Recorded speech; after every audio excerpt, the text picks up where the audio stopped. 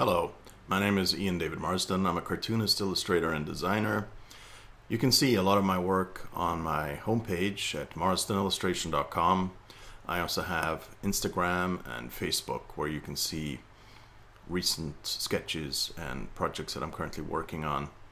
Uh, I've worked for magazines and newspapers, advertising campaigns, uh, business clients all over the world. I created the mascot for the Ski World Championship 2003 in St. Moritz, and the thing you probably know me most for is that I drew the very first Google Doodles. Today I want to show you a little bit how I work.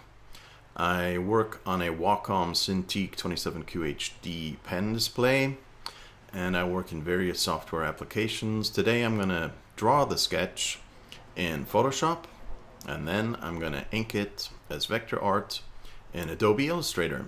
I hope you enjoy the video.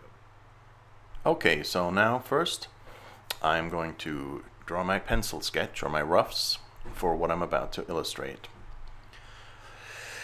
The idea I had for this little demonstration video was to have a big evil robot in the background. So that's what I'm sketching. I'm using uh, Kyle brushes uh, Kyle Brush pencil for this, which you can, uh, kylebrushes.com offers a bunch of different, very, I like them a lot anyway, very good brushes, brush presets for Adobe Photoshop, ranging from pens, pencils, inks, watercolor, gouache, and even halftones. They're divided into sets, so uh, you don't have to download things that you don't need. The pricing is very reasonable, I find. And if you want to start experimenting with them, they have a trial mega pack for, I think, 15 buckaroonies that uh, contains a selection of all of the different kinds of brushes. So here you can see I'm laying down the robot. It's a menacing robot, a highly muscular robot I never quite understood why they build robots to be muscular since they're robots, but anyway, they look better that way. Uh, I'm going to make it an evil, sort of demon style, devilish kind of robot thing. And uh, I'm just sketching away here, trying to find the form a little bit, outlining it. It's uh, my idea is that this uh, robot thing is sort of sneaking up behind our main heroes who we're going to draw next who are in the foreground. Okay so you saw there I didn't like how the leg was so I selected it made it a little smaller rotated it a bit. As you know uh, on Wacom tablets or pen displays. You can also flip the pen around and use it as an eraser, which is very nice. Okay, here now on a second separate layer, I'm drawing the foreground characters. I'm choosing a slightly different color for the pencil so that I can differentiate the lines. Um, this is uh, a character in the foreground, his head, his arms. I want to get the pose right he's going to be holding a little remote control and he's looking at it trying to figure out what it actually is and what it does. And the gag is I guess that it's activated the hideous robot behind him. I want him to be sitting in a comfy chair. Um, if I wanted to really work the scene out I would probably put a fireplace in the background and make it look like uh, Downton Abbey or something like that. Uh, but for the purpose of this demonstration, I'm just concentrating on the characters. And next to him is his trusted dog, who is trying desperately to point out to him that something horrible is just about to happen. There now I'm going to play a little bit with the placement of the characters and I'm going to fade them out so that I can use them as a backdrop later for inking.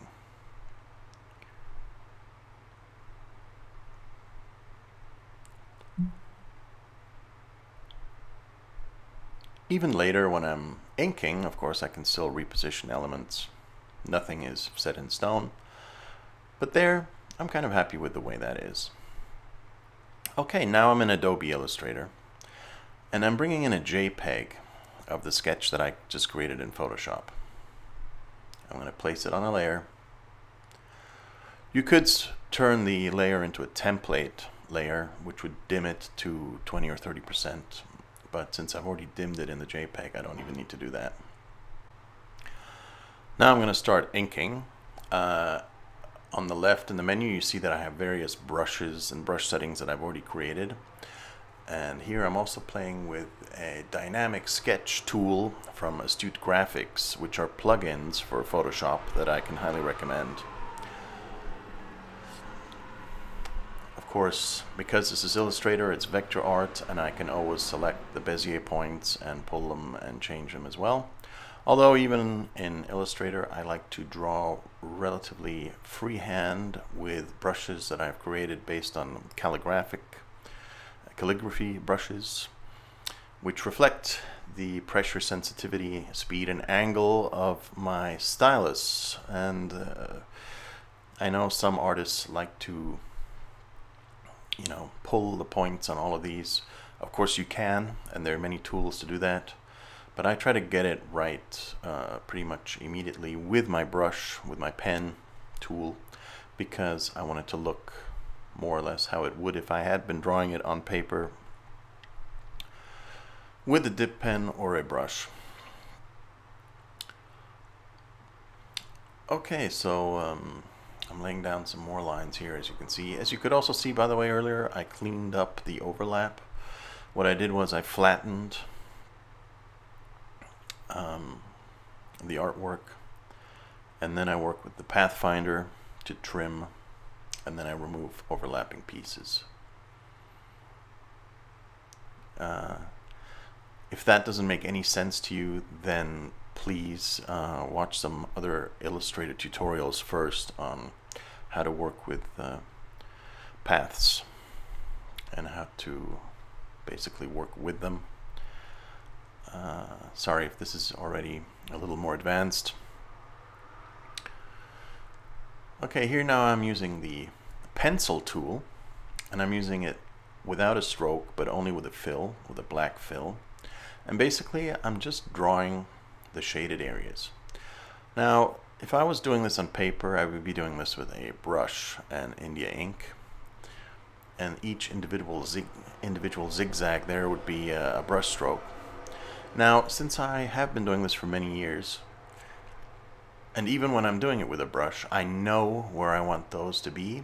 So now, in my mind, I can just think about where I want them to be, and I can create them like this using the pencil tool um, you can see the outline.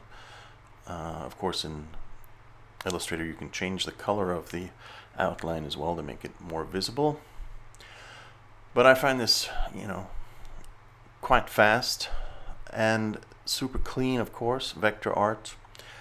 And if I don't like it, I can change it, as is always the case. Um, even here, even though this video is accelerated, a little bit to ensure that this video doesn't end up being an hour long. Um, it's, as you can see, I still work relatively fast. If this was a piece to be published or for an advertising campaign or something, obviously I would spend considerably more time on it to make sure that everything is really exactly the way I want it. Still, you can see it's an efficient tool and things move along very nicely. Okay, so uh, there I've selected everything. And now I've gone ahead and finished the robot because you can see it is a symbol in my library. I can now change the colors. If I change the colors on one symbol, it changes it on all of the instances of the symbol. and uh, it being vector art I can of course scale it and it is lossless it doesn't have any pixels. Right now I'm starting on the heroes in the foreground. Again I want these to be relatively naturally drawn just as if I was drawing them with a brush and a pen. And that's what I'm doing. I'm using my brushes that I've basically just tweaked a little bit uh, from using a uh, calligraphy brush which picks up on the pressure sensitivity and the speed of my drawing.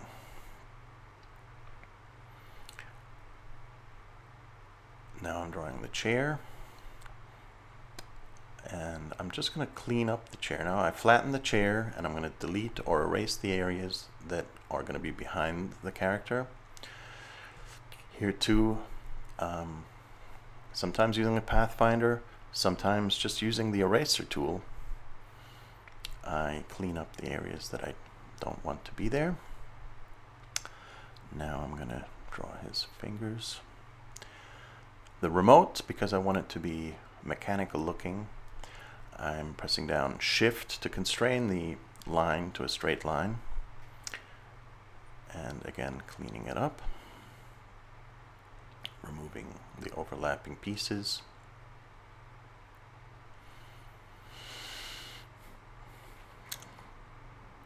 I'm adding a little bit of shading because these figures need to live in the same space the shaded robot behind the people here has quite a lot of shading.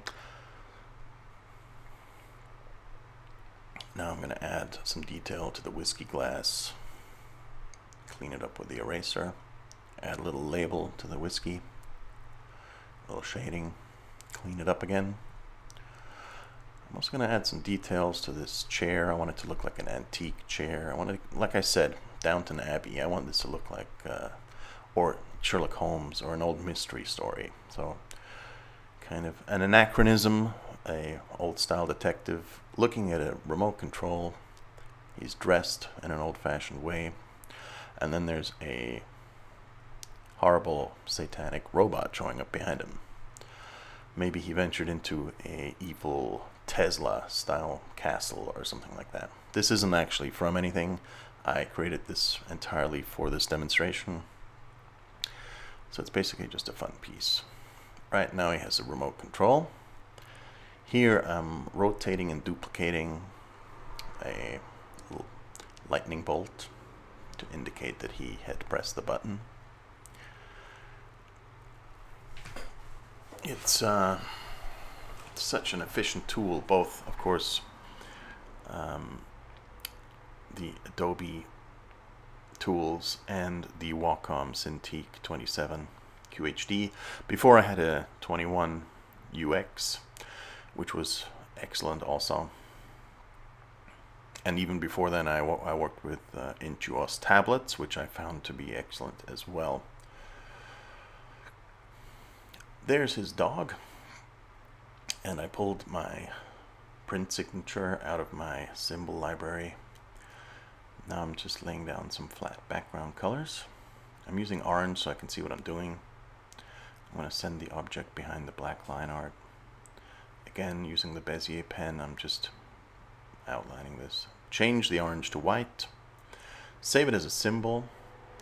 And I'm going to add a stroke, a white outline stroke, to the people in the foreground and the dog to just lift them off from the robot. There you go.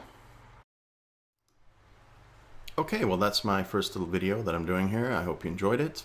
If you have any questions, please post them in the comments below and I'll try to answer them as quickly and as well as I can. And uh, please share the video, subscribe to my channel, and I hope to see you again here real soon for my next video. Thanks for watching.